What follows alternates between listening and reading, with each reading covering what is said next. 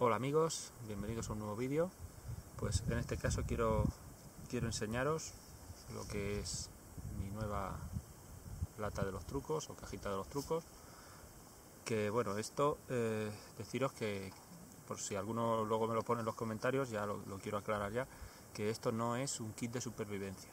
Esto es solamente la caja donde llevo las, las cosas pequeñas de la mochila. Estoy haciendo un poco de revisión de mi material más habitual y bueno, esto es una, de esas cosas que, llevo siempre. No lo considero un kit de supervivencia, ya digo, porque para mí el, el kit o el material que llevo es la mochila en, conjunto. No me gusta llevar muchas redundancias de, material eh, porque esto al final lo que es, es peso en la espalda, ¿vale? Entonces, pues simplemente aquí es donde guardo las cosas pequeñas que quiero llevar recogidas en un mismo sitio. Bueno, y ahora vamos a, vamos a pasar a ver el, interior, a ver qué parece. Bueno, vamos a ver lo que mide. Pues mide unos 16 centímetros de, de larga por más o menos unos 10 centímetros de, de ancha y a ver si lo puedo poner bien voy a llevar con mi bota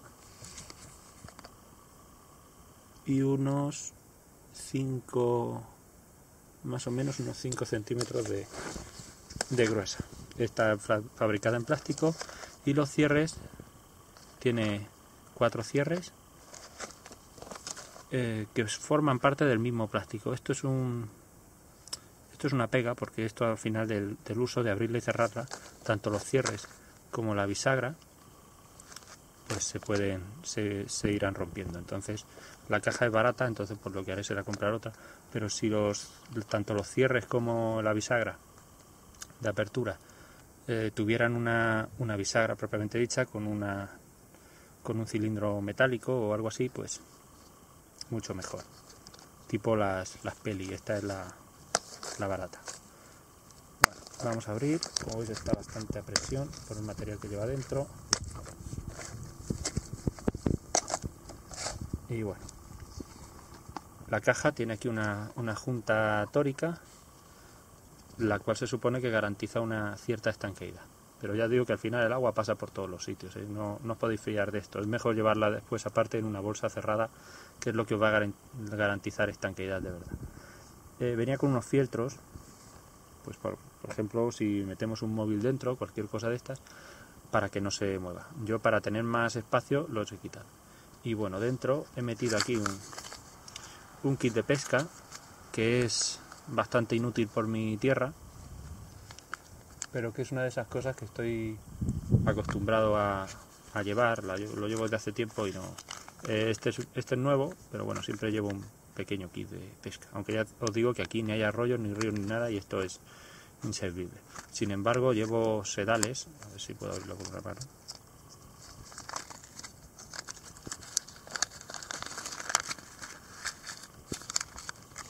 Llevo ahí un palito con un sedal normal y otro con un sedal trezado de alta resistencia, más los anzuelos, algunos montados, algunos sin montar, más un par de moscas artificiales y luego el papel este.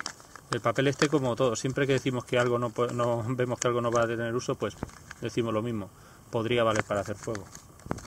¿Vale? Entonces ahí el, kit de pesca, que ya digo que es lo más lo que yo considero en este terreno más inútil, en otros seguramente sea indispensable. Bueno, aquí tengo cinta americana que en una, en una tarjeta. La tarjeta no es cualquier tarjeta, es una tarjeta de mi seguro federativo caducada. Eh, de paso, si, si por casualidad he olvidado la otra, pues dentro hay un teléfono. Me costaba lo mismo poner esta que poner otra, así que ya, pues ya que estaba, pues puse esta. Vale, eso, la cinta americana, pues como material de reparación. Aquí, además, con un, con un letrero motivador, eh, un, un encendedor, que ahora lo explicaré aparte porque forma parte de, evidentemente del kit de fuego. A ver, vamos a ver cositas por aquí. Otro material de reparación que es un cordino de 2 milímetros fino para atar cualquier cosa que, se nos rompa. ¿vale?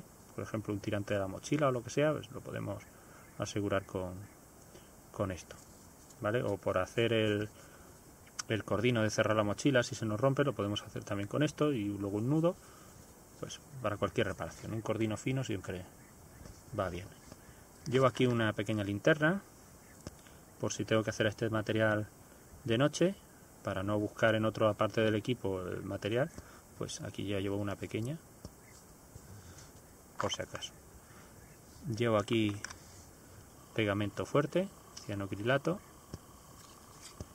pues igual, cualquier reparación de cualquier cacharro pequeño, alguna parte del teléfono, del GPS, bueno, yo que sé, cualquier cosa pequeña que necesitemos eh, pegar. Llevo aquí alambre, esto es alambre de cobre, que aparte de servir para reparaciones, puede servir también para reparaciones de material electrónico y si necesitamos aislar el cable lo podemos aislar con, con la cinta americana, cualquier ñapa de estas electrónicas que tengamos que hacer. Bueno, llevo aquí el, el cable del, de mi cargador. A ver si creo que lleva por aquí el cargador.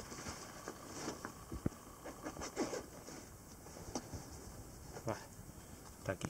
Eh, este es mi cargador del móvil y el cable para que no se, se me olvide, pues este lo llevo aquí. Luego, si lo tengo que usar en, en el día a día, tengo otro cable aparte. Pero este lo llevo en la mochila precisamente por eso. Como veis, aquí tiene para meterle clavijas y llevo dos clavijas una para el móvil y otra para el, para el GPS, para poder usarlo con los dos tipos, dispositivos. Este cable, ya os digo, este, este, va aquí por si acaso. Llevo aquí una, una pequeña piedra de afilar, una DC3 de Falniven en, en, un plástico para que no roce el resto de materiales. Ya os he dicho muchas veces que los cuchillos, navajas y demás, demás herramientas con filos cortantes deben venir ya afiladas de casa pero pues por si acaso, pues hay que darle un repasito o lo que sea, pues esta piedra no, ocupa mucho y no pesa mucho. Yo la llevo siempre por si acaso. ¿Qué más cosas llevo aquí? Llevo una lupa, cuya función principal es la de sacar astillas, ayudar a sacar astillas o, ver cositas pequeñas, yo que sé, por ejemplo detalles de algunas plantas, lo que sea, y luego pues podría valer para hacer fuego. Es una de esas cosas que las llevo siempre en un, en un kit que lo normal es no tener que usar esto para nada, pero, pero la llevo siempre por costumbre y además esta lupa le tengo cariño. La estamos ya muchos años conmigo, es una lupa de cristal, en esta pequeña fundita de, de Jack Daniels. Y la llevo desde que era un, crío, también es un material que le tengo aprecio. Entonces, pues la llevo siempre. Eh, ¿Qué más cosas llevo por aquí? Bueno, eso que habéis oído era una European eh, llevo un filtro de agua que ya lo enseñaré más detalladamente en, el próximo vídeo que, quiero hacer. Bueno, más cosas. Aquí una batería de repuesto para la cámara de fotos. El kit de fuego. Sencillo, pequeño y eficaz. Tres pastillas y un mechero. No hace falta más. No hace falta llevar...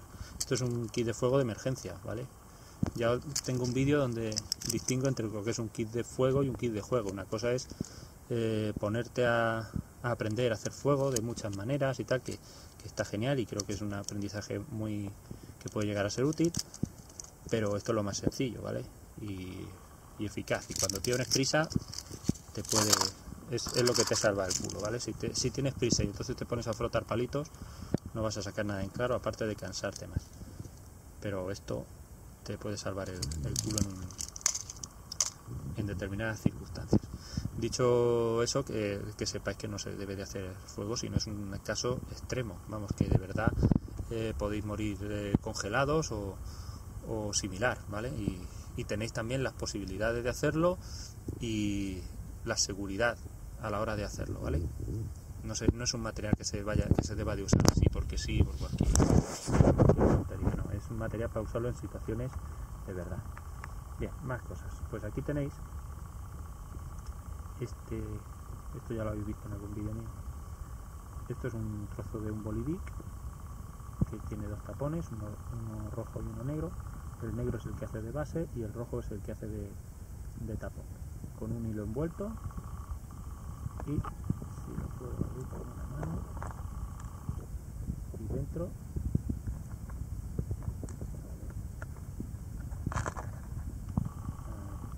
y dentro veis que lleva las agujas de coser este es el kit de costura que llevo.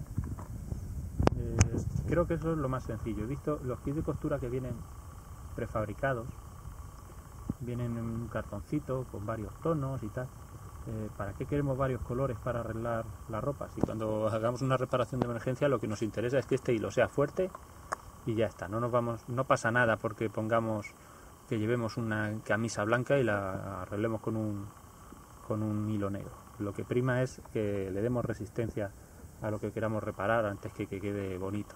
¿vale? Luego en casa ya la arreglamos de otra manera, pero en el monte da igual el color, no hace falta llevar eh, tres o cuatro o 10 tonos de, colores para que coincida con la ropa que llevamos, ni botones ni nada. Yo, por ejemplo, la ropa que llevo todas son cremalleras, entonces que yo lleve botones no me sirve absolutamente para nada. Y si necesitáis hacer un botón, simplemente con un palo algo más, más gordo que, esto, pues lo, lo, coséis por la mitad, le hacéis una pequeña depresión con la navajita, lo coséis y ya tenéis un botón. O sea que no es necesario llevar tanto material. Bueno, aquí tenéis unos sobres de sal que creo que siempre vienen bien y me gusta llevarlos pues por si acaso, ¿vale? Y esto, que aquí, eh, bueno, quiero también hablaros un poquito de, esto. Primero, en este anillo de aquí es un dedal, que esto no se lo he visto llevar a nadie en un kit de costura, ¿vale? Lo llevo separado porque evidentemente no lo puedo juntar, lo llevo aquí que no hace bulto ni nada.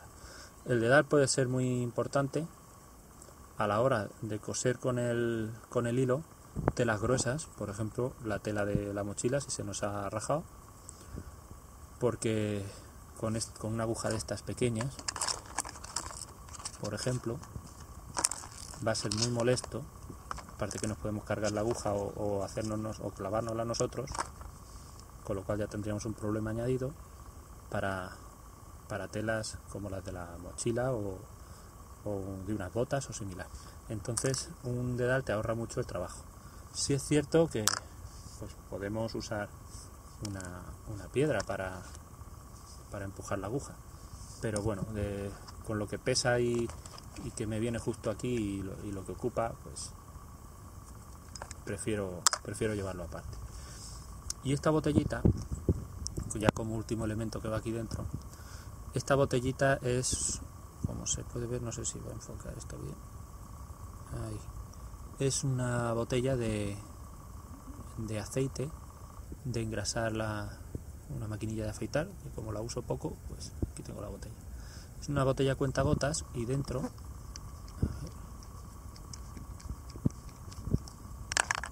¿Veis? Este es el, el cuenta gotas que se vea bien. Pues dentro lo que llevo es lejía, lejía apta para potabilizar agua. Es un elemento más de potabilización junto con el filtro.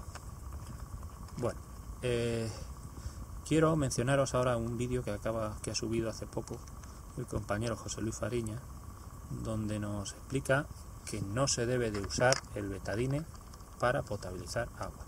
Me gustaría que vierais ese vídeo y que agradecierais, igual que agradezco yo, que el compañero José Luis, José Luis Fariña haga ese tipo de vídeos porque ayudan muchísimo. ¿Vale? Yo sé que hay alguna gente que le va a molestar un poquito lo de lo de que, que diga lo de que con el betadine no se puede potabilizar, pero él da razones de peso y bueno, ¿qué queréis que os diga? Si podéis tener un problema y por llevar el betadine y usarlo, o que no potabilice el agua, o que pueda ser incluso tóxica, pues es de agradecer que, un compañero eh, se dedique a buscar toda la información posible sobre esto y, y no la dé gratuitamente. Y como digo, yo lo que llevo es lejía. Ojo que la lejía tampoco es una... Hay que llevar cuidado, ¿vale? Porque la lejía es, tóxica, aunque sea para, para, uso alimentario y para potabilizar agua.